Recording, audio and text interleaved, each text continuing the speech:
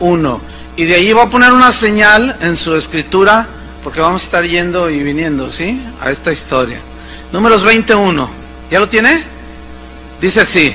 Llegaron los hijos de Israel, toda la congregación al desierto de Sin, en el mes primero, y acampó el pueblo en Cádiz, y allí murió María, y allí fue sepultada. Y porque no había agua en la congregación, se juntaron contra Moisés y Aarón.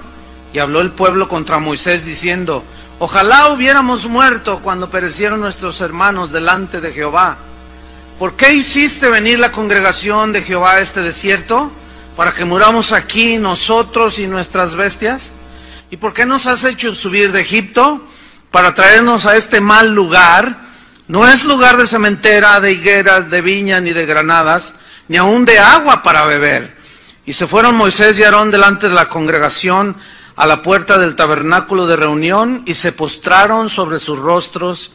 Y la gloria del Señor apareció eh, sobre ellos. Y habló Jehová a Moisés diciendo, toma la vara y reúne a la congregación, tú y Aarón tu hermano, y hablad a la peña a vista de ellos. Y ella dará su agua y le sacarás aguas de la peña y darás de beber a la congregación y a sus bestias. Entonces Moisés tomó la vara delante de Jehová, como él le mandó, y reunieron Moisés y Aarón la congregación delante de la peña y les dijo, oíd ahora, rebeldes, os hemos de, de salir aguas de esta peña. Entonces alzó Moisés su mano y golpeó la peña con su vara dos veces, y salieron muchas aguas, y bebió la congregación y sus bestias. Y Jehová dijo a Moisés y Aarón, por cuanto no creísteis en mí, para santificarme delante de los hijos de Israel, por tanto, no meteréis esta congregación en la tierra que les he dado. Todos sabemos que Israel anduvo vagando en el desierto durante 40 años.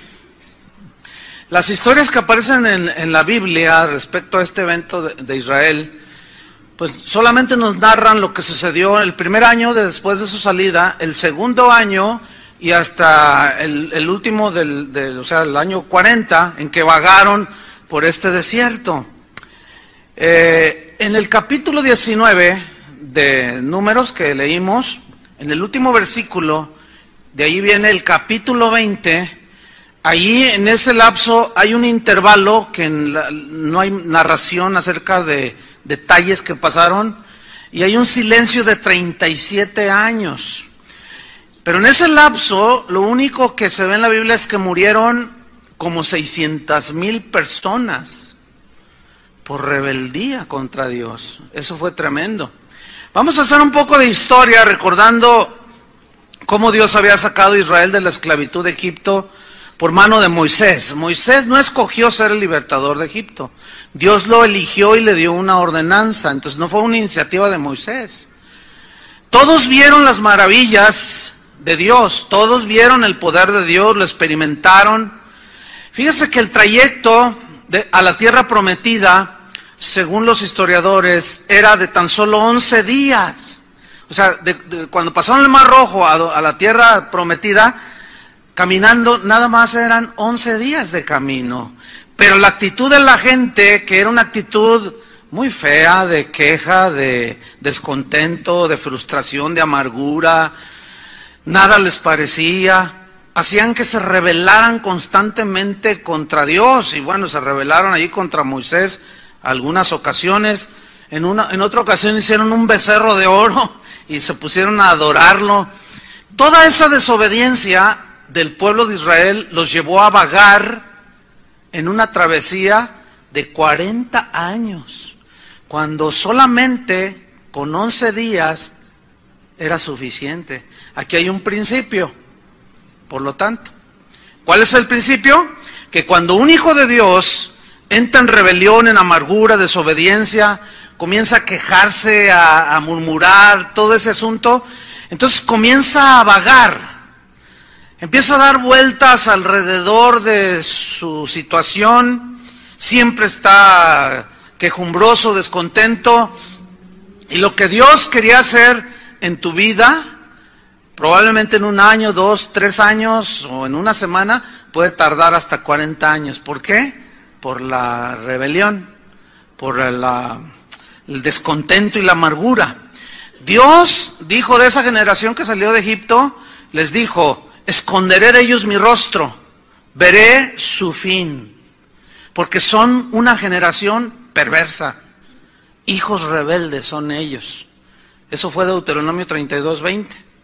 En Hebreos 3.7, no lo busque, dice, dice así, por lo cual, como dice el Espíritu Santo, si oyereis hoy su voz, y esto es para nosotros ahora, si oyereis hoy su, hoy su voz acerca de esta historia, comienza a narrarla, dice, no endurezcáis vuestros corazones. O sea, en toda la enseñanza, no endurezcan sus corazones. Como en la provocación dice el escritor de Hebreos, y se refiere a que ella travesía de Israel en el desierto. En el día de la tentación en el desierto, aquí tentación significa provocación, cuando provocaron a Dios, cada rato lo provocaban con sus murmuraciones, quejas y todo eso. A causa de lo cual, dice, me disgusté contra esa generación. Fíjate esa frase, me disgusté. Me disgusté. Imagínate tener a Dios disgustado en contra tuya, mía, ha de ser algo terrible. Y dije, dice el Señor, siempre andan vagando en su corazón. ¿Qué es vagar? Siempre andan de aquí para allá, o sea, no, no son firmes, sólidos, tras una meta, siempre andan vagando, nunca llegan a ningún lado, siempre andan vagando en su corazón y no han conocido mis caminos. En 40 años no pudieron conocer los caminos de Dios aunque vieron sus obras, pero su actitud rebelde, desobediente, tantas cosas les impidió. Una de las historias que sucedieron en estos dos primeros años que la Biblia narra del peregrinaje de Israel en el desierto está en Éxodo 17, búsquelo. Abra Éxodo 17.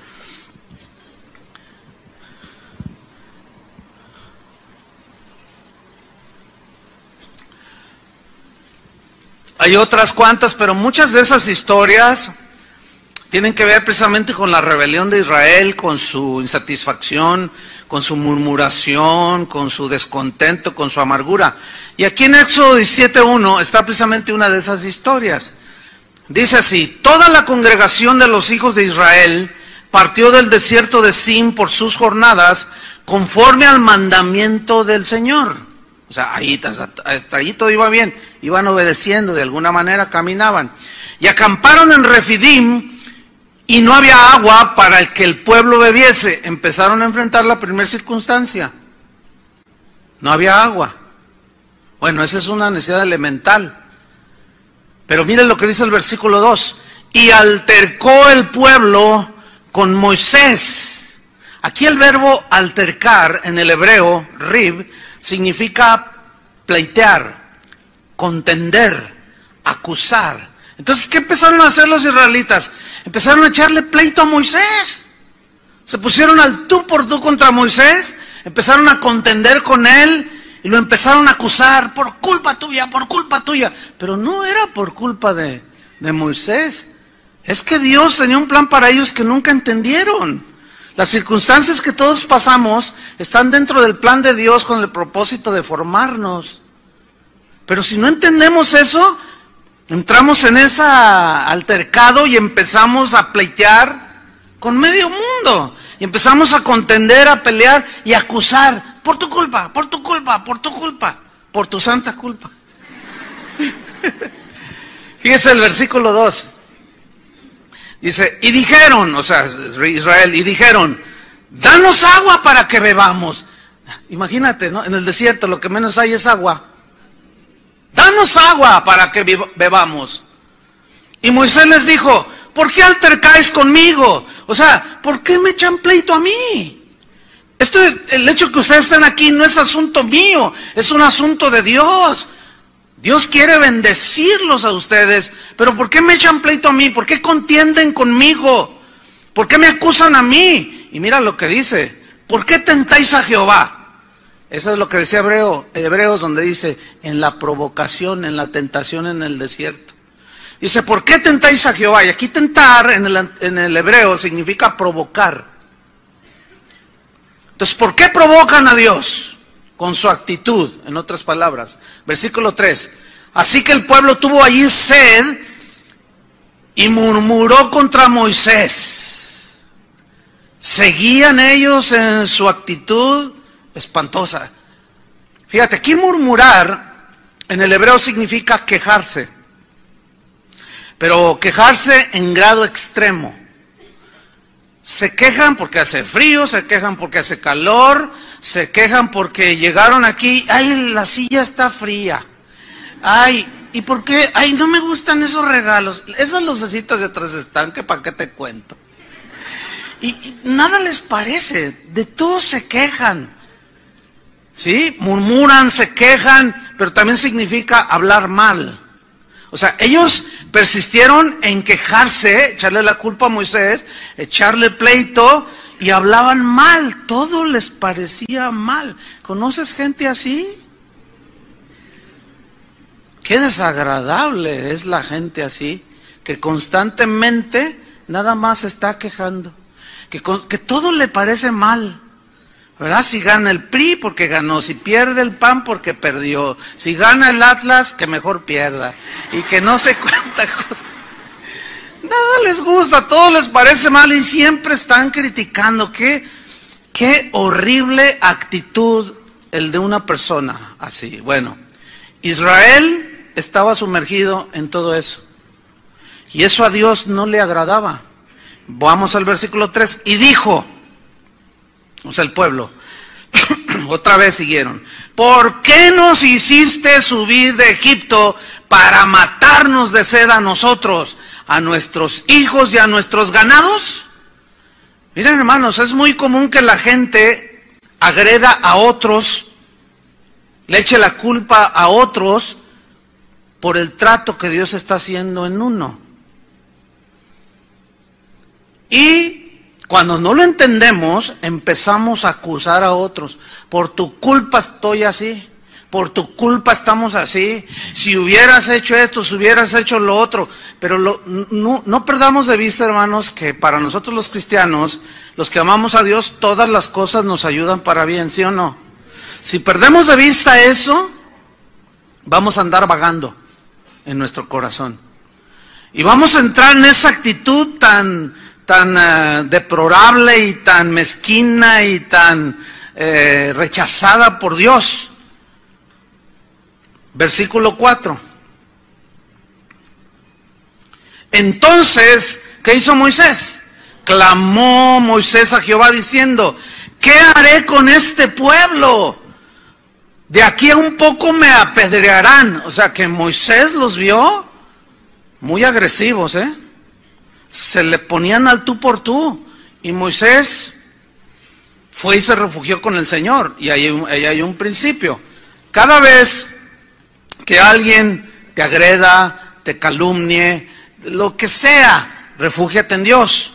Pídele dirección, qué es lo que quiere que hagas, y vas a ver cómo Dios responde y siempre nos dará una, una dirección sabia, porque Él es sabio. Ahora, versículo número 5 él le pregunta, ¿qué hago con este pueblo? Y Jehová dijo a Moisés, pasa delante del pueblo y toma contigo de los ancianos de Israel. O sea, gente de los pocos maduros que tengas allí, tómalos como testigos y toma también en tu mano tu vara con que golpeaste el río y ve la vara. En otro versículo en Éxodo dice que esa vara, dice la vara de Dios, esa vara fue la que Moisés extendió cuando se abrió el Mar Rojo. ¿Recuerdan? Esa vara simbolizaba la autoridad que Dios le estaba dando a Moisés para liderar al pueblo de Israel, para dirigirlos. Es una autoridad que no provenía de Moisés. Dios se la había dado. Y cada vez que Dios quería que hiciera algo, le decía, levanta tu vara, extiéndela. O sea, era, era, algo simbólico de que Dios estaba apoyando la autoridad que, repito, Moisés no eligió tener. Dios se la dio. Así, así es con los cristianos en la congregación, en la iglesia del Señor. Nosotros no escogimos tener la autoridad, Él nos escogió para tener la autoridad y nos da la vara de autoridad. Ahora vamos a ver eh, qué sigue aquí en la historia. Dice en el versículo 6, He aquí que yo estaré delante de ti allí sobre la peña en Horeb. Digan todos la peña. Porque esto es muy importante, dice. Y golpearás la peña, subrayen golpearás la peña. Y saldrán de ella aguas. Y beberá el pueblo. Fíjense, eran como tres millones. Imagínate el raudal que salió cuando Moisés golpeó la piedra, porque dice, y Moisés lo hizo así en presencia de los ancianos de Israel. O sea, Moisés, obediente, sumiso, humilde, va y golpea la roca y sale agua, que hasta el Ciapa sentiría celos, ¿verdad? De, tan grande caudal. Bebieron todos, millones de personas con sus ganados y todo. Realmente un milagro notable, ¿sí o no? ¿Alguna vez ustedes han visto eso? Ay, pues dígame dónde. Está, en otro lado, pero bueno, bueno, está bien. Sigamos aquí. Ok, escuchen bien, Moisés hizo lo correcto de manera correcta. Fíjese bien, Moisés hizo lo correcto, siguió las instrucciones y lo hizo de manera correcta. ¿Por qué menciono eso? Porque, como vamos a ver más adelante, podemos hacer lo correcto de manera incorrecta. Y ya lo veremos más a profundidad. Pero aquí surge una pregunta que la misma Biblia nos la responde. La pregunta es, en realidad, ¿qué es la peña? ¿O quién era la peña? ¿Quién era esa peña? ¿O qué, qué, qué simboliza? ¿Por qué Moisés debería de eh, golpearla? ¿Y por qué al golpearla salió agua? Bueno, la misma Biblia nos da la respuesta a esa interrogante. Pónganos a señalar ahí en Éxodo y vamos a 1 Corintios 10.1. Porque allí nos responde, Pablo nos da la revelación de que la, la roca que golpeó Moisés era Cristo. ¿Sí? Vamos a ver 1 Corintios 10.1. Dice así. Porque no quiero, hermanos, Fíjense, subrayen e-, este verbo, que ignoréis, no quiero que ignoréis, ¿qué? Que nuestros padres, y se refiere a la generación en el desierto, no quiero que ignoren que nuestros padres, todos, estuvieron bajo la nube. ¿Se acuerdan que, el sol, bueno, abrasador del desierto, Dios en su misericordia puso una nube que los seguía y les daba frescura. No sé cuántos de ustedes han estado en el desierto, ¿alguna vez alguno? Yo sí, iba en una camioneta atravesando el desierto de, Arizona. Entonces, oye, párate, me dicen que, el, que se siente bien feo. No, no, está a 45 grados. Adentro, pues con clima, ¿no? Con aire. No, no, pues a ver, entonces me bajé, no, no aguanté 10 segundos. Es una cosa espantosa el calor. Bueno, eso eran 45, en los desiertos llega a 55 y hasta 60. Es espantoso aquello, pero Dios en su misericordia, todos vieron ese, a donde se movían, la nube. Mira, el Señor está con nosotros. Qué, qué maravilloso, ¿no? Sigue, sigue leyendo. Dice, y todos pasaron el mar. Se refiere al mar rojo. Ese también fue un milagro extraordinario. Versículo 2, y todos en Moisés fueron bautizados en la nube y en el mar. Y todos comieron el mismo alimento espiritual. Aquí se refiere al maná. Yo quiero que noten que aquí Pablo le está dando la interpretación eh, espiritual de los sucesos de Israel en el desierto. Jesús dijo, Moisés no les dio el verdadero pan del cielo, yo soy el verdadero pan del cielo. Y aquí se está refiriendo, dice que el maná en realidad tenía un sentido espiritual que los israelitas nunca pudieron discernir. ¿Por qué? Por su actitud de queja. Nunca entendieron. Por eso es que Pablo dice, no ignoréis, miren, les voy a decir qué sucedió en el desierto. Versículo 4, y todos bebieron la misma bebida espiritual, porque bebían de la roca espiritual que los seguía, y la roca era Cristo. Ellos nunca entendieron que esa roca era Cristo. ¿Por qué? Porque sus circunstancias de sed, de calor, de hambre, no, los, no los permitía ver que Dios estaba al tanto de ellos, pero que los estaba llevando a un lugar donde fluía leche y miel, pero ellos no supieron esperar y se quejaban y murmuraban y se rebelaban contra Dios. A eso lleva la rebelión, nos quita la revelación, inhibe la revelación y el entendimiento espiritual. Dice el versículo 5, pero de los más de ellos no se agradó Dios, por lo cual quedaron postrados en el desierto. Significa murieron en el desierto. Versículo 6. Mas estas cosas sucedieron como ejemplos para nosotros. Ahí estás incluido.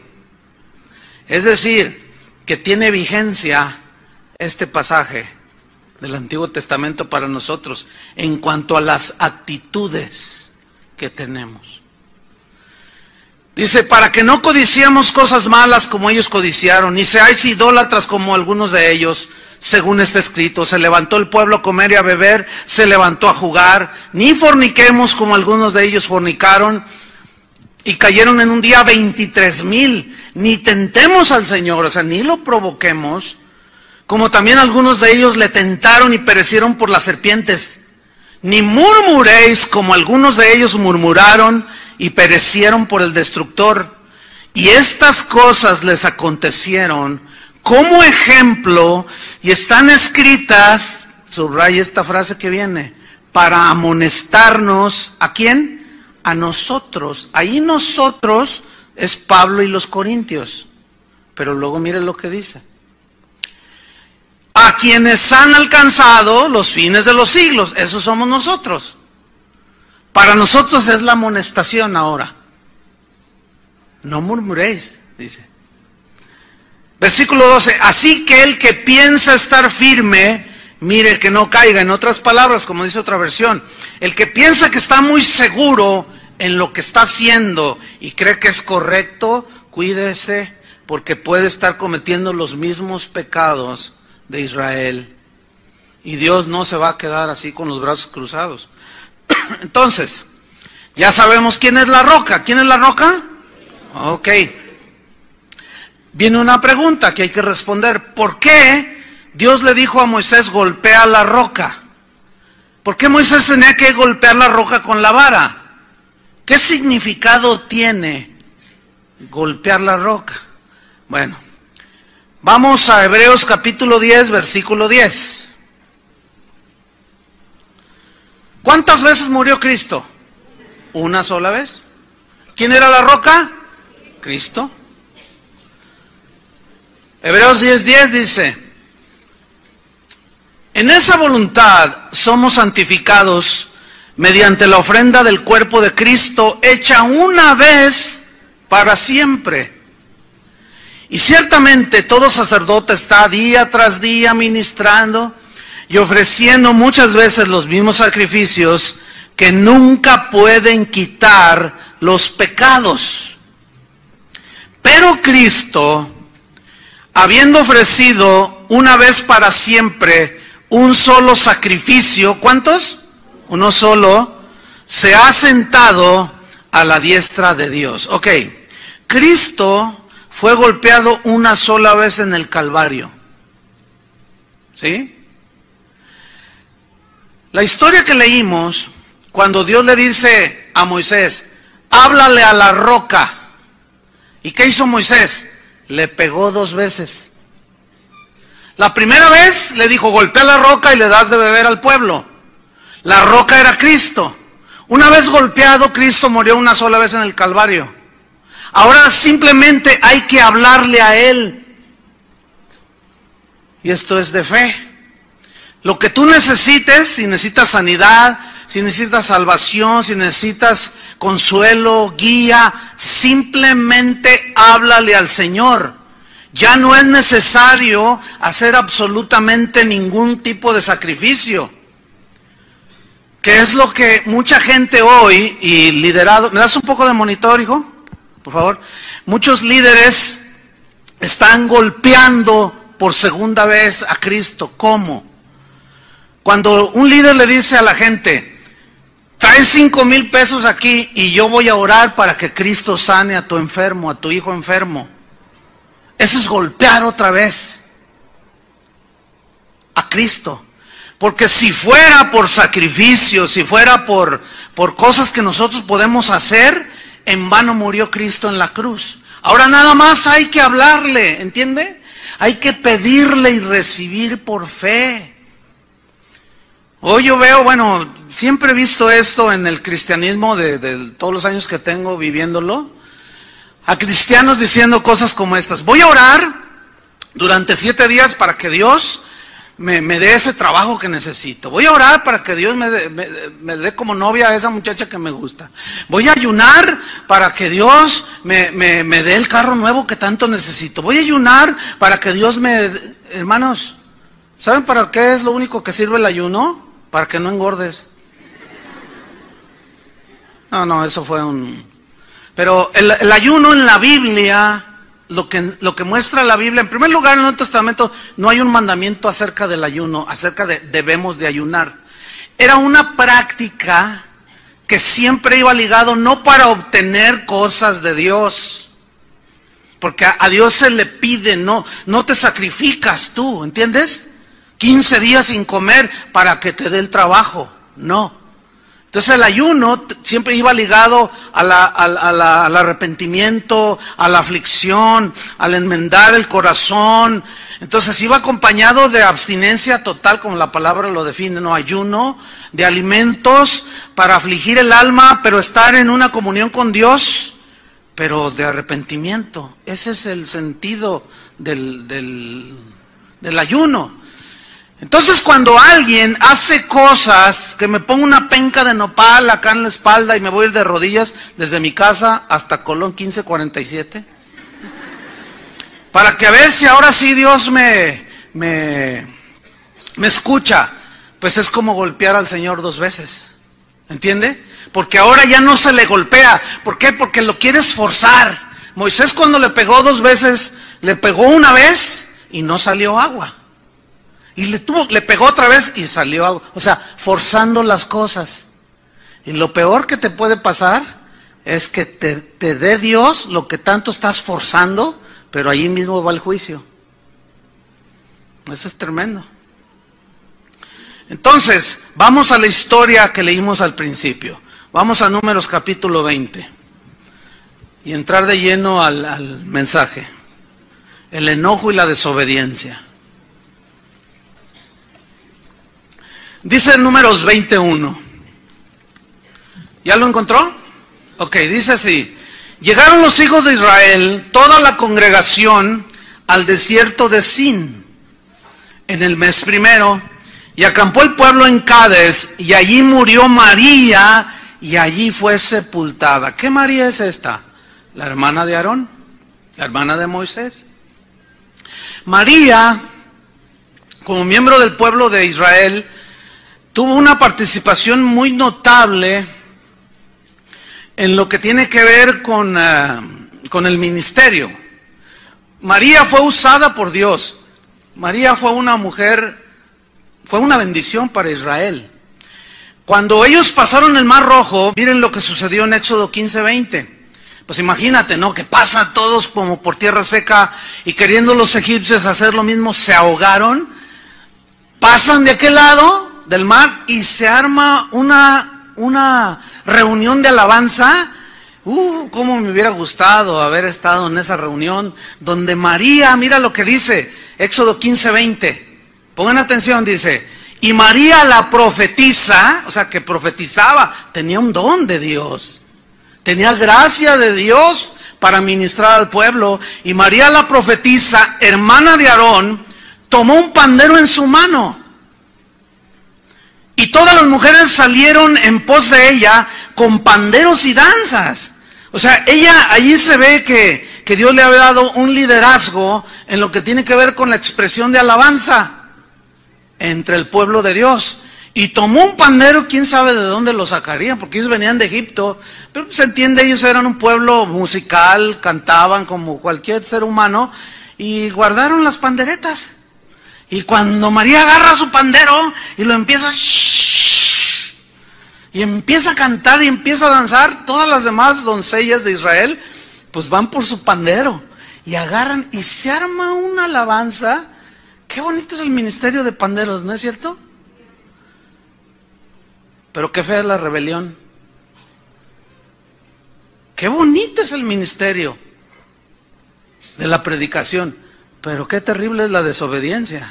Qué bonito es, la es el ministerio de, de dirigir la alabanza o de cualquier ministerio para Dios, pero qué horrible es la rebelión y la murmuración y la queja. Bueno, pues esta mujer dice, tomó panderos, versículo 21, y María les respondía, porque la gente cantaba.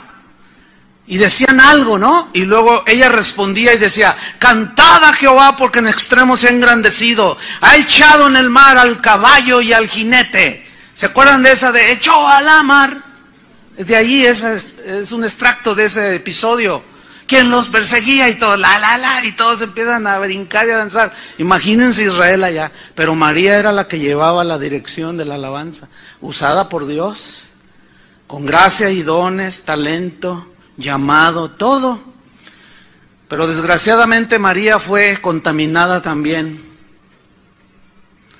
con la rebelión y Dios tuvo que tratar con ella, la disciplinó, porque se había rebelado contra Moisés, quedó leprosa, al final fue restaurada, y vemos que al final murió en paz. Estamos en el versículo 1 de, números 20. Dice, y murió allí María y fue sepultada. Esa frase significa, fue sepultada, que todo estaba en paz con Dios. Si no lo hubieran dejado ahí, ¿entiende? Murió en paz, se reconcilió con Dios, pero Dios trató su rebelión. ¿Qué fue lo que hizo María? Vamos a, a números 12, versículo 1.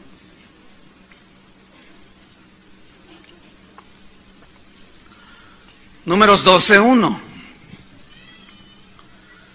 Cuando lo tengan, digan ya. Ok. Dice, María y Aarón hablaron contra Moisés a causa de la mujer cusita que había tomado, porque él había tomado mujer cusita. Mira, en la Biblia, cuando menciona personas, este es un rasgo de la escritura hebrea y una costumbre de ellos, que cuando escribían el nombre de una persona, cualquiera que fuera, en primer lugar, significa que esa era la que presidía, la que iba adelante, la que estaba dirigiendo. Por ejemplo, dice Pablo y Silas, ¿sí? Bernabé y Saulo. Significa que Saulo un tiempo en que era el que llevaba la, batuta y Saulo iba bajo su liderazgo. Después ellos, cada quien se fue por un lado, eh, Bernabé por uno, uno y, y, este, Saulo por otro, y ya después se ve Pablo y Timoteo. ¿Sí? ¿Se acuerdan que dice que en la iglesia primitiva, pero un, matrimonio llamado, una pareja llamada uh, Zafira y Ananías, ¿se acuerdan?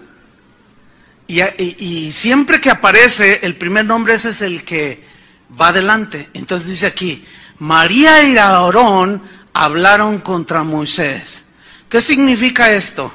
Que María fue la instigadora. María fue la que fue con Aarón y empezó a quejarse de Moisés. Y empezó a decir cosas y Aarón, que era un hombre que, bueno, también fue eh, usado por Dios, sin embargo, él era muy fácilmente influenciable. ¿Se acuerdan cuando estaban al pie del monte Sinaí que los israelitas dijeron, no baja Moisés? Y nosotros tenemos ganas de avivamiento, queremos avivamiento, Moisés, queremos fiesta, Moisés, eh, haznos dioses. Y les hizo un becerro de oro. O sea, era ese, era ese tipo de líderes que, no, que no saben equilatar ambas partes, que se dejan llevar con el primer comentario que alguien les lleva. Entonces Moisés, eh, perdón, Aarón fue fácilmente influenciado por María, entonces logró, logró de alguna manera contaminarlo de su rebelión y mire lo que hicieron. Hablaron contra Moisés a causa de la mujer cusita que había tomado, porque él había tomado mujer cusita. Y dijeron, ¿Solamente por Moisés ha hablado Jehová? Mire, mire lo que dicen después, ¿eh? ¿No ha hablado también por nosotros? Sin duda.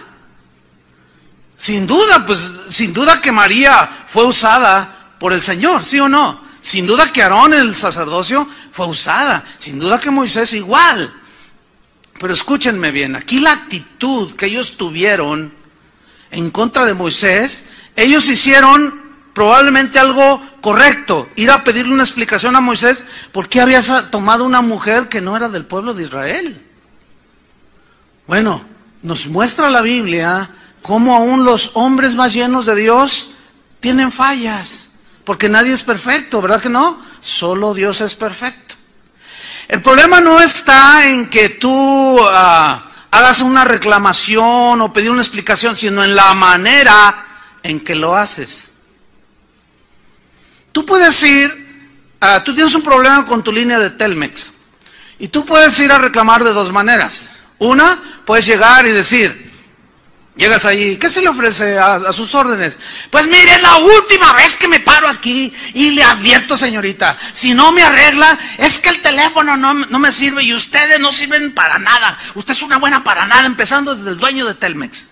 No sirve para nada, esto es un desastre y cuál, cuál empresa de primer mundo, ni que nada. Así es que le exijo ahorita y o le ofendes y le gritas y le dices que te arregle el teléfono. Y la señora se voltea y se empieza a tomar su sándwich. Y tú te enojas más, pero hay otra manera de, llegar, ¿no? Y decir, oye señorita, fíjese que he tenido muchos problemas con mi teléfono. ¿Me podría usted ayudar a decirme qué hago, cómo hago? Porque fíjese, y tú le explicas todo. Entonces, tú puedes hacer una reclamación. Tú, por ejemplo, una esposa a un esposo Puede hacerle una reclamación justa, pero tiene que cuidar cómo se la hace. Un hijo puede hablar con su papá y pedirle una explicación. Oye, papá, tú dijiste que nos ibas a llevar al zoológico. ¿Por qué no nos llevaste, papá? Ah, déjame explicarte, hijo. Es que fíjate que en el trabajo y me pidieron que, que doblara turno, qué sé yo. Y, no está mal que se lo haga así, es una manera correcta. Pero si llegaras un viejo mentiroso y, me voy de la casa porque tú eres un bueno para nada y como padre no vales más que un chícharo. no, no, no, pues lo que Dios reprueba es la actitud. Ahora, Dios usaba a María, la usaba. Pero la investidura era diferente. ¿Entienden? Es como, como si tu hijo te dice, a ver, ven para acá. Y se pone así. A ver, papá, ven para acá. Y tiene 10 años el muchacho. A ver, ven para acá. Aquí, ahorita. Espera, ¿qué pasó, hijo? Ahorita, ahorita. Quiero, ven, ven para acá. A ver, yo quiero que tú me, me. Porque tú y yo somos iguales delante de Dios, ¿eh? Bueno, esa es una verdad. ¿Sí o no? Somos iguales delante de Dios. Pero en cuanto a responsabilidad, investidura, no son, no son iguales. El papá tiene la autoridad y merece qué? Respeto. No, no puede nadie hacer eso. Entonces Moisés era el que Dios había elegido. Sí, se equivocaba Moisés, por supuesto. Pero esta María y Aarón arguyeron o pusieron de pretexto de que también Dios los usaba. Entonces somos iguales tú y yo. Y a ver, Moisés, ¿por qué esto y lo otro? Y hablaron contra Moisés. Y Dios reprobó esa actitud. Porque no eran iguales en cuanto a investidura ni responsabilidad. Dice en el versículo 2, y lo oyó Jehová. Versículo 3, y aquel varón Moisés era muy manso, más que todos los hombres que había sobre la tierra. Luego dijo Jehová a Moisés de Aarón y a María, salid vosotros tres al tabernáculo de reunión. Y salieron ellos tres, o sea, los implicados, salieron ellos tres ahí. Entonces Jehová, dice, descendió en la, en la columna de la nube y se puso a la puerta del tabernáculo y llamó a Aarón y a María y salieron ambos. A ver, María y Aarón, vengan para acá, les dice. Y él les dijo, oíd ahora mis palabras. Cuando haya entre vosotros profeta de Jehová, le apareceré en visión. En sueños hablaré con él. No así a mi siervo Moisés, que es fiel en toda mi casa. Perfecto no, pero fiel sí. Y hay que saber encontrar la, la diferencia, ¿eh? Hay una distinción. Una cosa es que tú permanezcas fiel, pero como eres humano, como somos humanos, fallamos. Pero fiel, fiel. Fiel, Moisés es fiel en toda mi casa. Dice el 8, cara a cara hablaré con él, Aarón y María. Y claramente y no por figuras, y verá la apariencia de Jehová. Y mira su pregunta de Dios, su cuestionamiento. ¿Por qué pues? O sea, yo lo escogí a él, ustedes no lo escogieron. Como diciendo Dios eso, ¿no? Yo sé que es imperfecto, pero esa actitud que tuvieron contra Moisés no me gustó. Dice, mira, ¿por qué pues no tuvisteis temor de hablar contra mi siervo Moisés, o sea, mí, el que yo escogí? Entonces la ira de Jehová se encendió contra ellos, contra Aarón y María, y se fue. Y la nube se apartó del tabernáculo. Fíjate lo que provoca, ¿eh? Y aquí que María estaba leprosa como la nieve. Y miró Aarón a María y aquí que estaba leprosa. Ahora, ¿por qué María fue la leprosa y Aarón no? Porque ella fue la instigadora. Y ella recibió el juicio directo de Dios, la reprensión directa de Dios.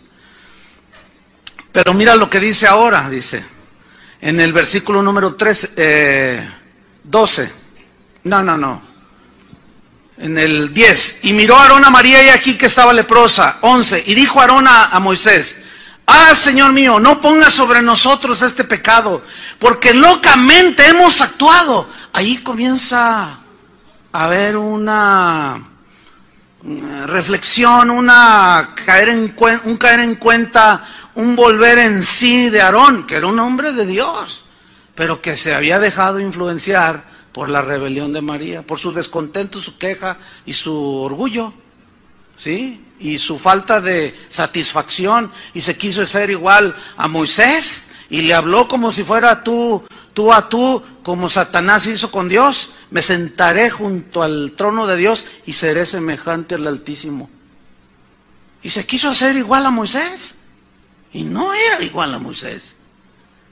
Entonces dice en el versículo 11 al final, hemos, locamente hemos actuado. Fíjense esta palabra, actuado. Habla de una, de una acción, que es la que Dios está reprobando. Dice, y hemos pecado. Quiero que noten que Aarón recibió la reprensión del Señor y reconoció que había pecado. Versículo 12. No quede ella ahora como el que nace muerto, que al salir del vientre de su madre tiene ya medio consumida su carne. Entonces Moisés clamó a Jehová diciendo, te ruego, oh Dios, que la sanes ahora. Yo quiero resaltar aquí el corazón de Moisés. ¿eh? Un hombre manso y un hombre que no permitió que la amargura, ni el resentimiento, ni el rencor lo envolviera. Porque empezó a orar por ella en cuanto se dio cuenta que había quedado leprosa y en aquellos tiempos la lepra era sinónimo de muerte física. No había cura en aquel tiempo. Entonces Moisés va con Dios y, e intercede por ella. ¿Ven el corazón de Moisés sin una gota de amargura ni resentimiento? Este es una buena, un buen principio para nosotros, para ustedes, para todos los cristianos. Cuando alguien se te ponga al tú por tú, cuando alguien te falta el respeto, cuando alguien se queje de ti, ora por él. Entonces tu corazón va a permanecer en paz. Mira lo que dice el versículo número 14. Respondió Jehová a Moisés, pues si su padre hubiera escupido en su rostro, no se avergonzaría por siete días. Y mira Dios disciplinando a María. Sea echada fuera del campamento por siete días y después volverá a la congregación. Así María fue echada del campamento siete días y el pueblo no pasó adelante hasta que se reunió María con ellos. Fíjate, Dios no permitió que María tuviera una, una actitud de, de esa manera. Tuvo que intervenir Dios y tuvo que segregarla, tuvo que disciplinarla. Ahora, esa fue la sentencia de Dios. Pero ¿quién la ejecutó? Moisés. ¿Lo alcanzan a ver o no? Moisés fue el que le dijo, ¿sabes qué? Porque él está orando por ella. Y dice, sácala de la congregación siete días. La lepra, la ley decía que no podías tocar un leproso porque te contaminabas, era algo simbólico. El pecado contamina. Tú júntate con un, con un este, mentiroso y te vas a acostumbrar a echar mentiras. Júntate con un celoso y te vas a ser celoso. Júntate con un ladrón y te vas a, así dice la Biblia, aprenderás sus costumbres y sus hábitos. ¿Sí? Entonces dice, sácala de la congregación, o sea, disciplina. Y Moisés tuvo que decirle, ¿sabes qué, María? Te vas a estar siete días fuera del campamento. Esa es la disciplina. Dios delegó que sus, a los que Él escoge para que le sirvan, les delegó, les dio la vara para ejercer la autoridad. ¿Están entendiendo? Ok. Bueno, los que ya tienen sus añitos aquí en casa de oración saben que esta es, este es una congregación donde les hemos enseñado acerca de la disciplina, ¿sí o no? ¿Están conscientes de eso? Y hemos explicado el por qué, cómo, etcétera. Pero cuando la ejercemos, parece que a algunos se les olvida. Porque el, disciplinado, hay dos maneras en que reacciona un disciplinado. Como, como María, y reconoce, como Aarón reconoce, locamente ha actuado. ¿Dónde estaba mi cabeza? ¿Qué hice? En arrepentimiento. Y otra es en soberbia. ¿Entienden? El que se arrepiente y reconoce, bueno, sus pecados confiesa y prospera, dice la Biblia, ¿no? Y es restaurado. Pero el otro, el que no está conforme, el que sigue con rebeldía, va como, como María fue con Aarón. Y va y empieza a soltar. Entonces, si tú, a ti se te olvida la enseñanza de la, de la disciplina y por qué, etcétera, y la persona disciplinada te dice con amargura, hicieron una injusticia conmigo, y empieza a llorar. Entonces ya mueve tus sentimientos, ¿no? Entonces, ¿qué te hicieron? Pues me disciplinaron, me prohibieron esto, me dijeron pero es, es injusto y que no sé qué. Entonces, si tú no eres sabio, si no eres sabia para hacer lo siguiente, te vas a meter en problemas. ¿Qué es lo que hay que hacer? Bueno, hermano, si te disciplinaron fue por algo, ¿no?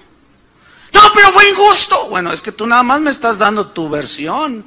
Ah, ya estás de parte de ellos, ¿verdad? No, no estoy de parte de ellos, pero, pero, ¿qué es lo correcto? Si quieres saber la situación. Porque cuando se disciplina a alguien, no, no, la Biblia dice, bueno, se disciplina, pues, pues se arrepintió, pues se le disciplina y ya. No tiene uno que estarle diciendo todo, hermanos, hoy esta semana tenemos 15 disciplinados. Tenemos a fulano porque fíjense que hizo esto. Tenemos a sultán. No, no, no, ¿qué es eso? Eso no, está, eso no es bíblico. Entonces no podemos estarles dando los pormenores de la disciplina. Entonces, si a ti te interesa saber el por qué, ¿a quién debes de acudir? ¿Con doña Lupe? ¿La de las hamburguesas? A preguntarle, oiga, ¿y usted sabe por qué disciplinaron al hermano Pancho Pistolas? Ay, pues no sé, pero me imagino que a lo mejor... Y al rato es una imaginadera y es una contaminadera impresionante, ¿no? No, no, no. Si a usted le interesa saber con quién tiene que venir, con los pastores. Entonces nosotros ya, oiga pastor, pero también tu actitud. Porque si usted llega, a ver, quiero que me explique. No, no, no, no, espérame, espérame. No, así, porque a veces así llega. O sea, nosotros no nos negamos, ni, ni mucho menos, pero la actitud con la que se acercan, a veces, a veces, no siempre, ¿eh? Gracias a Dios son los menos.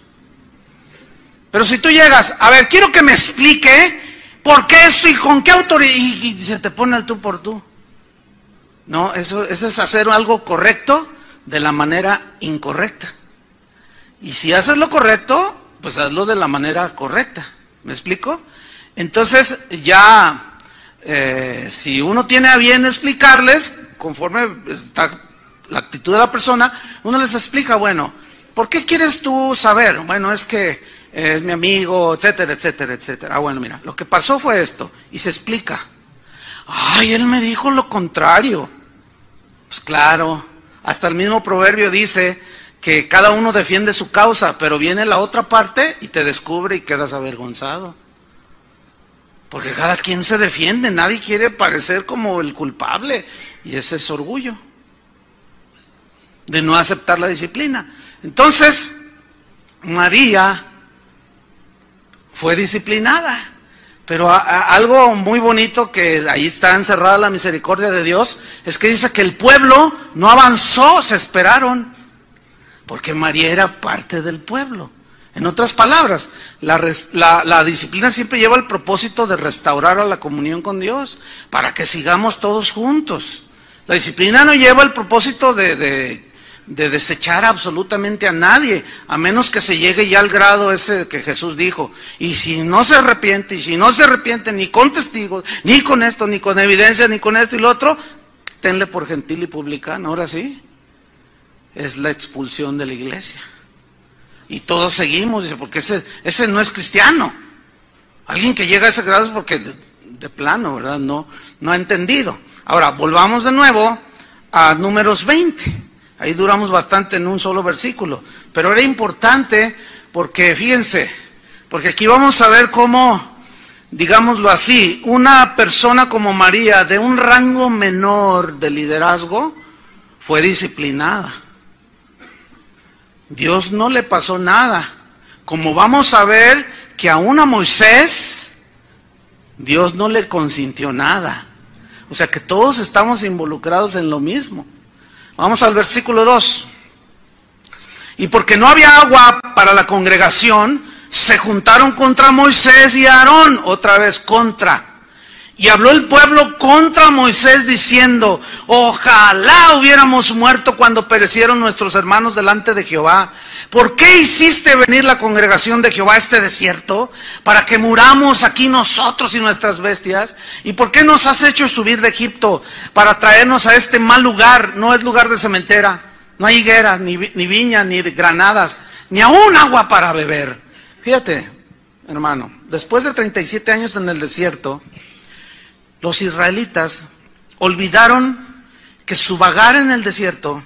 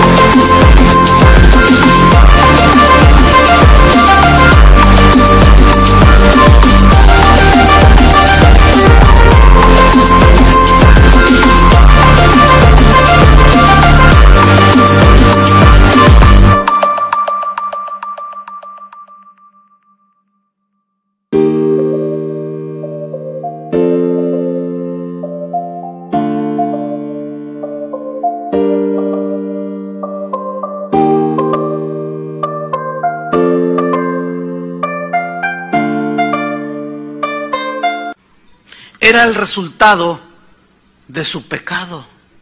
Nunca lo entendieron. El, vagar dando vueltas en una travesía que solo era de 11 días, que duró 40 años dando vueltas por el desierto, qué terrible ha de ser vivir 40 años en el desierto. Eso en sí mismo es un milagro. ¿Quién vive 40 años en el desierto? Pero Dios lo sustentaba queriendo que su pueblo reaccionara porque el Señor quería bendecirlos. Pero ellos nunca se dieron cuenta que vivían esa situación extrema por causa de su propio pecado, por su rebelión, su insatisfacción, su murmuración. Ellos no podían aceptar el hecho de que ellos mismos se habían acarreado los problemas que estaban viviendo. No, entonces fue que culparon a Moisés por la situación por la que ellos estaban pasando. Y casi siempre nuestros problemas, si los observamos bien, son el resultado de nuestra desobediencia, ¿sí o no? Generalmente es por eso. Cuando hay queja y rebelión en nosotros, es muy fácil echarle la culpa a los demás, es muy fácil ver las faltas en los demás. No podemos culpar a otros, hermanos, por nuestros mismos pecados y mucho menos culpar a Dios. Yo no puedo culparlos a ustedes si desobedezco al Señor. Pues es que ellos, Señor, no, no, no, no, dice Dios. No, déjalos a ellos. Tú, ¿por qué no hiciste lo que te dije? Pero ustedes tampoco pueden hacerlo. No, pues es que el pastor, no, no, no, déjalo a él. Tú. ¿Están entendiendo? Tenemos que, que acomodar todo tal y como es. Hasta que nos enfrentemos a la realidad de nuestra conducta, no habrá paz. No habrá crecimiento espiritual en nuestra vida. En el momento en que surge la queja, la murmuración, la rebelión, en ese momento comenzaste a vagar en el desierto. Comenzaste a dar vueltas alrededor sin llegar a ningún lado. Y así te puedes pasar 20 años tratando de encontrar el propósito de Dios en tu vida, queriéndolo servir, queriendo hacer algo y siempre estás insatisfecho. Y vienes a, las reuniones y nomás estás buscando, ¿y eso qué? ¿Eso es qué? Eso es del diablo. Y ese balconcito ridículo. Ay, yo no sé de qué, de quién, al pastor se le debe haber ocurrido. Ay, una vez estaba un estandarte de esos, hay uno de un león, ¿lo han visto? Bueno, hasta, hasta el estandarte. Estaba el leoncito, porque lo hicieron medio visquito. Así está, está medio así. Entonces, mira nomás, ¿qué es eso? Y se fue a quejar haciendo un escándalo una señora. No, ya me, me, me voy de aquí. Fíjate nomás. No, pues olvídate. Y luego algunos tocan la silla así, un, otro chicle, otro. No, no, no, es que de plano, en esta iglesia nada funciona. Y tú dices, balcón, chicle, estandarte, ve, ve lo que te fijas. O sea, todo eso que está evidenciando, ¿cómo está tu corazón? Porque a todo, a todo le pones un pero. Nada te gusta. Miren, hay un joven aquí, hay un montón de jóvenes aquí, pero hay un, adolescente y como esos, gracias a Dios, hay un buen número, pero este joven, ahorita ronda en los 20 años más o menos. Cuando él tenía como 19 años, él, eh, una vez platicando, decía, pastor, dice, usted me presentó al Señor. Porque sus padres tienen como 20 años aquí en casa de oración, 21 tal vez. Y dice, yo tengo la foto cuando usted me presentó y cuando oraron por mí. Y dice, mire pastor, ¿por qué le digo esto? Yo aquí nací, yo empecé a crecer y me llevaban al cunero, empecé a tomar al primer añito, dos, tres años con párvulos las clases de la Biblia. Yo conozco a todos los maestros. Llegué a, los 10 años, 12 años, entró mi adolescencia y yo siempre he venido. Me gusta, Dios, yo sirvo al Señor, tengo un corazón para el Señor, amo a Dios. Llegaron los 16, los 17, los 18. Y dice, bueno, ya a esa edad estoy a punto de terminar mi carrera, dice, voy muy avanzado. Dice, yo ya tengo conciencia de las cosas. Entonces, le voy a decir algo, pastor. Tuve una plática con mis padres y estábamos comiendo. Entonces, hubo un momento en que dije, ¿puedo, ¿puedo decir algo? Miren, con todo respeto les voy a decir algo. Papá y mamá y sus hermanos, ahí había uno que otro familiar. Dice, desde que tengo uso de razón, comemos, vamos al mar, a donde vamos, papá, mamá, siempre, toda la vida, se han pasado criticando a todo mundo. Y si yo me siento muy avergonzado, yo no oigo otra cosa. Mamá, disculpa, mira, no quiero herirte, te lo digo bien, de buena actitud, con respeto. Pero de todo mundo te quejas, a todo mundo criticas, desde el pastor hasta Doña Lupe. No, ahí yo le metí. Pobre Doña Lupe, ya van dos veces y allá, ya. Ah, pero ya está preparando las hamburguesas para cuando salgan. Dice, papá, dice, tú te la has pasado queje y queje y queje y yo no los he visto que ustedes den fruto. No les he visto servir a Dios.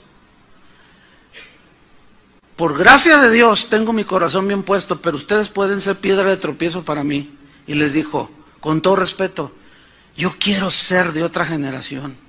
Yo no quiero ser como ustedes. ¿Te imaginas eso? Estaba así su mamá. Dije, ¿tú, tus papás? Pues mi mamá estaba. Es que es la más criticona. Y estaba así. ¿Y de cuándo acá las, las patos le tiran a las escopetas? No, no, mamá, no, no. Te lo digo en buena onda. Te lo estoy diciendo bien. yo no quiero ser como ustedes. Discúlpenme. Yo quiero ser parte de una nueva generación. Por eso el grupo de jóvenes se llama Nueva Generación. Por eso.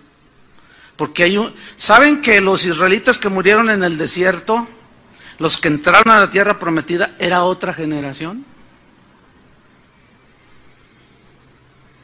Yo no sé, yo cada vez que platico con pastores, y esto es muy común, siempre estoy en contacto con pastores, y siempre me preguntan o, sale a la plática, oye, ¿en tu congregación también se da que los que tienen más tiempo son los más tiesos? ¿Sí entienden eso, no? ¿Son los más quejumbrosos? ¿No les parece nada? ¿De todo se quejan? ¿Le echan uno en cara todo? Le digo, pues, pues sí, mi iglesia es igual a la tuya. Hay rasgos de eso, donde quiera se da. ¿Por qué? porque nunca entendieron que Dios quería formarlos. ¿Entienden? Y que Él permitía situaciones que a veces nos usaba a nosotros para disciplinarlos, para llamarles la atención, para encauzarlos y ahora nos odian. Ahora están echándonos la culpa a nosotros de su condición en la que están. Una vez uno me dijo, me voy a Estados Unidos. Ah, pues que te vaya bien, hermano.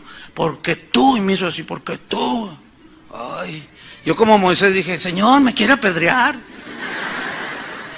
Me hace, porque tú, y me hace así, porque tú. Dice, obstaculizas mi ministerio. Oh, fíjate nomás. Ya que dices, ya nomás te quedas así, ¿no? Pero ¿saben qué es lo que ha mantenido? Por ejemplo, en mi caso, yo confío en que los demás pastores están también sanitos en el corazón. ¿Saben qué es lo que ha mantenido la sanidad?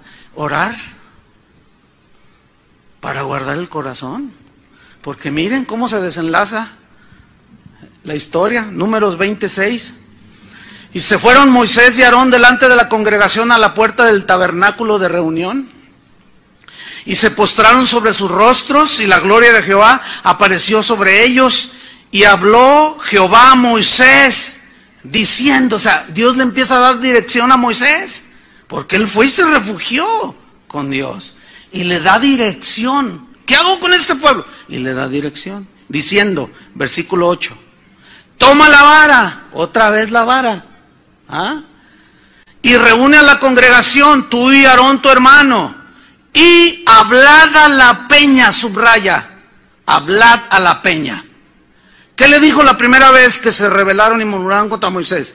Golpea la peña. ¿Quién es la peña? Cristo. Y ahora, una vez que Cristo fue sacrificado, una sola vez para siempre, ya no la golpees. Ahora háblale. Háblale. Hablad a la peña a vista de ellos y ella dará su agua, dará su bendición.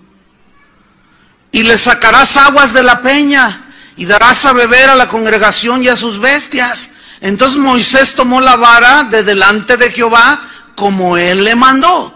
O sea, todo va bien ahí. Está haciendo lo correcto de la manera correcta. Hasta ahí. Entonces le dice a Aarón, bueno, júntate toda la congre. Y los llama y están todos reunidos y Moisés ahí con la vara. Pero yo me lo imagino así como agarrándola, así. Y así mirándolos, ¿no? Hay un dicho que la gente usa que dice que tanto va el agua al cántaro hasta que se rompe el cántaro. O sea, llegó un momento en que ese hombre manso le llenaron el zapato de piedritas. Ahí se ve la fragilidad del ser humano, que a pesar de ser un hombre fiel en toda su casa, en esta historia él perdió el control de sus emociones. ¿Entienden? Y tampoco quedó, él no quedó impune. ¿Eh? Vean, qué historia. Entonces toma la vara, llama a la congregación y les dice, les dijo, oíd ahora, rebeldes. En las Biblias aparece con signos así de admiración, ¿sí? ¿Así está en su Biblia? Oíd ahora, rebeldes. O sea, es una afirmación bastante agresiva, ¿eh? No, es que déjame decirle algo, ¿eh? A veces dan ganas. No, yo le soy sincero. Pues, ¿Cómo esconder eso? A veces dan ganas de... Bueno, miren, hay un hermano que cría ovejitas, ya les he platicado esta, ¿no? Que cría ovejitas de adeveras, tiene un criadero. Y a veces, este, pues vamos a una comida para los pastores y convivir. Entonces dice, no, pues yo pongo las, los, los, tengo ahí borreguitos, tengo ovejitas, yo pongo dos ovejas. Entonces, pues ya, este, las prepara, pero cuando la están preparando, dice, este, si fuera esta la hermana fulana de tal.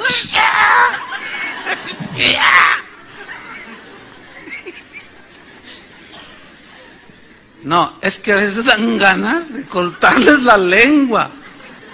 No, no, es que de veras. Pero, pero tiene uno que dominarse. Si pierde, hasta hay otro dicho que dice, el que se enoja, pierde. El que se enoja, pierde. Entonces, ya que las cocina y todo, que estamos ahí todos los pastores comiendo, ¿y a cuál hermana nos estamos comiendo, pastor? y entonces ya les dije un secretito allí de los pastores. No, es que a veces dan ganas. ¿eh? Y Moisés, Moisés estaba furioso, enojado. ¿Se acuerdan cuando él bajó del monte y llevaba las tablas de la ley? Y Dios le dijo, mira a tu pueblo que están adorando un becerro. Entonces cuando llega Moisés y los ve, dice que se enojó Moisés, ¿se acuerdan? Y rompió las tablas de la ley y se fue sobre de ellos. Fíjense que allí Dios no se enojó porque Moisés se enojó. ¿Por qué? Porque era justificado allí el enojo. ¿Están entendiendo? Allí era justificado el enojo. Porque era un celo santo por las cosas de Dios. ¿Cómo se les ocurre adorar un becerro. Y después Dios se les volvió a hacer. Pero Dios no le recriminó nada. Y no le dijo, ¿por qué, ¿por rompiste mis leyes? No, no, no, no. Porque ahí estaba demostrado, fue una reacción de un, de un celo santo. Y ahí Dios no se enojó. ¿Y por qué aquí sí? Porque aquí ya estaba obrando en la carne. ¿Entiendes? La Biblia dice, Santiago, que en, la, que en la ira del hombre, en el enojo del hombre, cuando hace las cosas, en eso no obra la justicia de Dios. Te deja así a un lado. Nunca se me olvida cuando el Señor me dijo que fuera a hablar con alguien por allí, pues con alguien que anda dañando mucho a los cristianos con sus enseñanzas. Y me dijo, ve y dile esto de mi parte. Y Dios me advirtió, dice, pero te advierto una cosa, si te enojas y le gritas, me hago a un lado y te dejo solo con él. O sea, ¿qué me estaba diciendo? Vas a ir a reprenderlo, le vas a llamar la atención, pero tienes que hacerlo con mansedumbre. Si tú pierdes el dominio, yo me hago a un lado. Porque si da coraje, que enseñen todo lo que enseñan. Da coraje, da un coraje, da una ira, un enojo que puede caer en la carne, ¿entienden? Entonces cuando fui y hablé con esta persona, lo tuve que hacer con mansedumbre, porque Dios me había advertido. Si te enojas, Me hago un lado y te los vas a ver luego conmigo. Acuérdate de Moisés. Ay. Bueno, sigamos. Oíd ahora, rebeldes, os hemos de hacer salir aguas de esta peña. ¿Saben qué significa eso? Significa, para que vean que sí puedo y que yo soy el que manda aquí, yo voy a hacer salir agua de la roca, yo. Yo. Ya no era Dios. Porque él tenía que hacer un acto de fe, háblale a la roca. Y Dios es el que honra la fe o responde a tu oración. ¿Entiendes? Pero ahora él estaba provocando. Entonces dice eh, versículo 11, entonces alzó Moisés su mano y golpeó la peña con su vara dos veces. Primero una. ¿Y qué sucedió? No salió agua. ¿Por qué? Porque el sacrificio de Cristo ya está hecho para nosotros. Tenemos que hablar.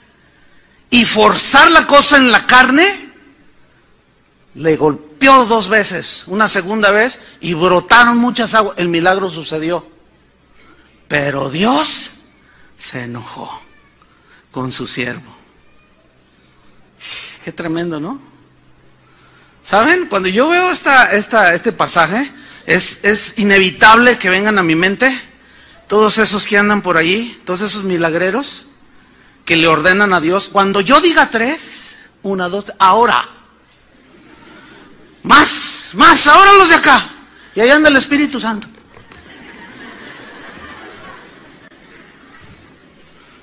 Para que vean que yo soy el elegido. Fórmense aquí todos. Ustedes van a ver con sus propios ojos los milagros que yo hago. Y hacen milagros en frente de la gente. ¿Se acuerdan que Jesús dijo en Mateo capítulo 7, muchos me dirán en aquel día, Señor, Señor, en tu nombre hicimos muchos milagros, echamos fuera demonios, profetizamos en tu nombre, y les diré, nunca los conocí, apartaos de mí, hacedores de maldad. ¿Por qué? Porque se atribuyeron la gloria que le pertenece a Dios. Le hicieron creer a la gente que ellos eran los meros meros. Y esa es la actitud de Moisés. Quiso ganarse el respeto imponiendo su autoridad y que vieran el poder que tenían. Y, ¡ta, y eso es lo que andan haciendo muchos el día de hoy.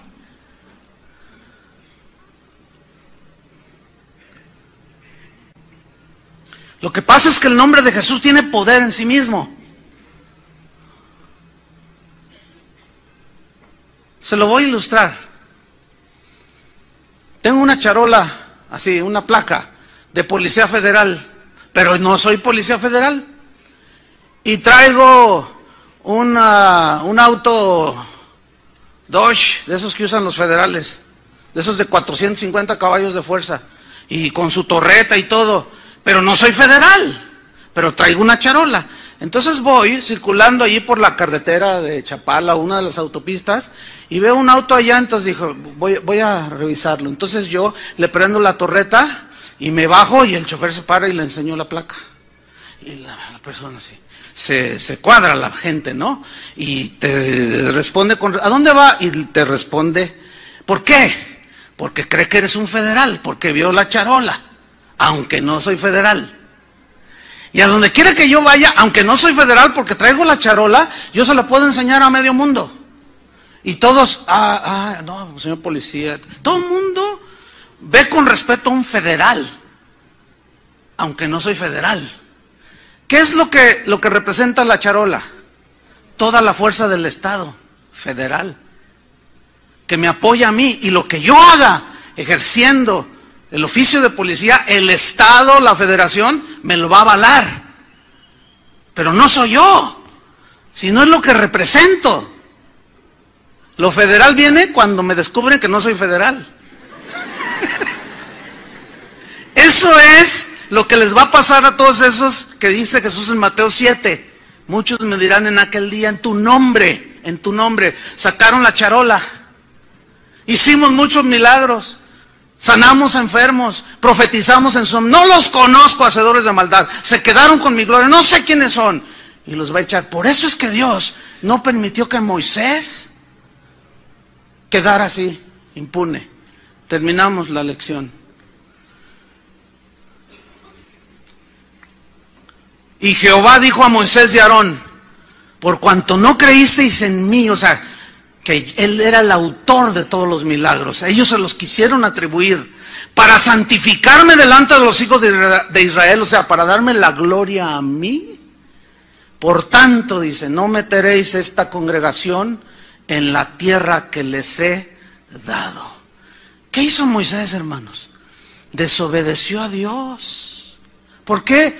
Porque en su enojo cometió un grave error. Golpeó la roca y dos veces en lugar de hablarle. Aquí vemos a Moisés haciendo lo correcto de manera incorrecta. ¿Parece duro lo que Dios le hizo a Moisés? ¿Se acuerdan de Usa? Cuando los filisteos habían capturado el arca de Dios que simbolizaba la presencia del Señor. Y dice que la cargaron, David la cargó y la puso en una carreta tirada por, por bestias, por bueyes. Entonces Usa era un hombre íntegro, era un hombre del pueblo de Dios que iba regocijándose en la alabanza que David iba dirigiendo. Y dice que los, los bueyes tropezaban y la carreta se empezó a mover y el arca estaba, parecía como que se caía. Entonces Usa, así se llamaba este, este hombre, Usa tocó con la mano deteniendo el arca que simbolizaba la presencia de Dios y en ese momento cayó fulminado. ¿Nunca se han puesto a pensar por qué? David hizo lo correcto, llevar el arca, pero de manera incorrecta. ¿Cuál era lo correcto? Llevarla en los hombros los levitas, así, caminando. En, unas barras, cuatro. Dos de un lado y dos de otro lado. Así es como Dios les había dicho. Pero David hizo lo correcto de manera incorrecta. Y usa cuando intenta de ayudar a Dios que no se caiga. O sea, todo lo que viene de la carne, hermanos, toda obra de la carne, toda reacción de la carne, Dios la rechaza. Todo se tiene que hacer como Dios dice. Nosotros nada más debemos obedecer. Por eso es que Moisés le dijo, no vas a entrar a la tierra, Moisés. Dura disciplina, ¿no? Terminamos leyendo 34 de Deuteronomio, capítulo 34. Porque aquí hay algo bien tremendo. Moisés acepta la disciplina del Señor porque era manso. O sea, e-, ese no era su estilo de vida. Él no era un hombre que constantemente reaccionaba enojado. No, no, no, no. Dice que era, Dios dice que era el más manso de la tierra. Pero en ese momento fue tanto la crítica que le llenaron el zapato de piedritas y perdió la compostura y reaccionó en la carne y ministró en la carne. Qué tremendo, ¿no? Vamos a ver a Moisés aquí. Deuteronomio 34. ¿Lo tiene? Lo leemos y terminamos. Dice, subió Moisés de los campos de Moab al monte Nebo, a la cumbre del Pisga que está enfrente de Jericó, y le mostró Jehová toda la tierra de Galad hasta Dan todo Neftalí, la tierra de Efraín de Manasés, toda la tierra de Judá, hasta el mar occidental, el Negev, la llanura, la vega de Jericó, ciudad de las palmeras, hasta Soar. Le dijo, mira, todo esto es lo que le dijo Jehová. Esta es la tierra que juré a Abraham, a Isaac y a Jacob, diciendo, a tu descendencia la daré. Te he permitido verla con tus ojos, mas no pasarás allá. Versículo 5. Y murió Moisés, siervo de Jehová, en la tierra de Moab, conforme al dicho de Jehová, y lo enterró en el valle, en la tierra de Moab, enfrente de Bet Peor, y ninguno conoce el lugar de su sepultura hasta hoy. O sea, Dios mismo lo enterró. Era Moisés, pongan atención en esto, de 120 años cuando murió. Sus ojos nunca oscurecieron ni perdió su vigor. Tú dirás, qué duro es Dios. No, no, no, no. Lo que debemos de ver es que esta es la muestra de cómo Dios trata con la desobediencia. Sea María, sea Aarón, sea Moisés, el que sea. ¿Entiende la lección? Termino con, con esto. Hace años, ya bastantes, yo vi una película precisamente de este pasaje de Moisés cuando narra esta historia bíblica. En la película, pues ustedes saben, a veces es más descriptivo el asunto y allí se ve cuando él sube a la montaña, 120 años, pero, pero dice que estaba con todo su vigor, con fuerza, con toda la fuerza, toda la claridad, en su pleno juicio, y, va subiendo a ese monte. Entonces se oye una voz en la película, ¿no? Y Moisés está llorando con su barba blanca, así su pelo blanco, y su vara a un lado. Y Moisés está mirando la tierra hacia lo lejos y ve los pájaros volar y, y se ven los ríos y, se oye una voz. Dice Moisés y le dice eso. Esta es la tierra que yo juré a tus padres que la daría. Pero Moisés, hiciste algo que me quisiste robar la gloria. Te atribuiste algo que no te pertenece. No puedo permitir absolutamente a nadie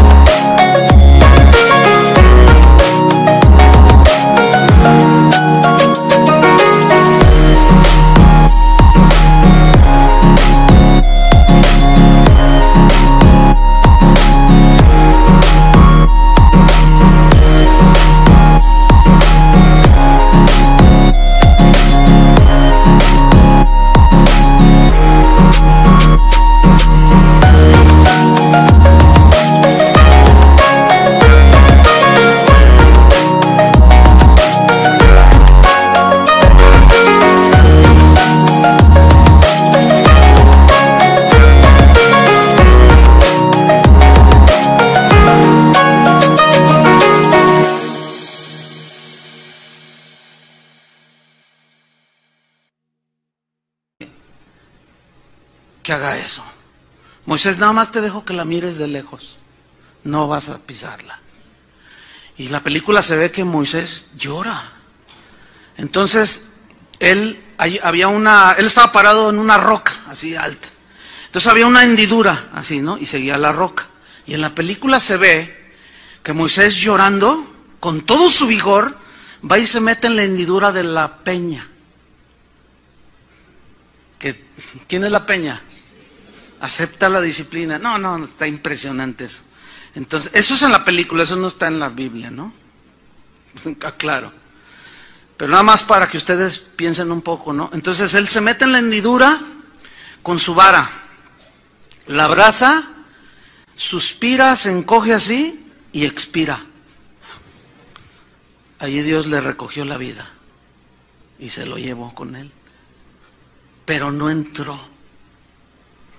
¿Les parece duro? No, no, no hay que ver eso. Hay que ver el lado que Dios está viendo. Él, él aborrece la rebelión, hermanos, entiéndanlo. Aborrece la queja, aborrece la crítica, aborrece.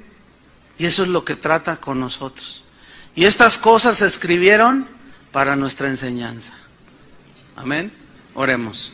Señor, te damos muchas gracias por la palabra que nos da vida, que nos da consuelo, pero también nos reprende también nos corrige, nos redarguye. Gracias Señor, porque sin duda todos hemos faltado en este principio, pero por tu misericordia no hemos sido consumidos, Señor. Pero no dejas de darnos advertencias para que no ignoremos estas historias, Señor, que se escribieron para nuestra enseñanza. Padre, que tu gracia nos sostenga hasta el día final. Y que si alguno aquí está insatisfecho, no está contento, han pasado los años, ya ha estado vagando. Puede ser que la murmuración, el resentimiento, la prepotencia, el orgullo los tengan en esa situación y no han entendido, porque tú quisiste tratar con ellos una y otra vez y ellos se rebelaron en cada situación. Y en lugar de, como María y Aarón, decir, locamente hemos actuado, se rebelan más y se endurecen sus corazones y quedan postrados en el desierto. Señor, yo te pido, así como Moisés, que sanes el corazón y limpies la lepra de aquellos que puedan estar insatisfechos, descontentos orgullosos, que puedan estar, a lo mejor tienen una demanda justa, pero han reclamado de manera inadecuada, incorrecta, desobedeciéndote a ti, Señor.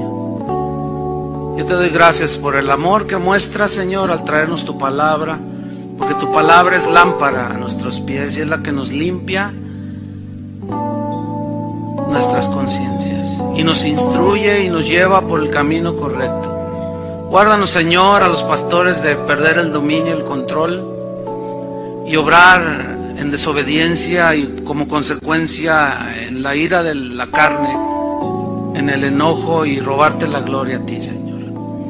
En el nombre de Jesús, estamos en tus manos, Señor, y síguenos guiando hasta el día final. En el nombre de Jesús. Amén. Que Dios los bendiga.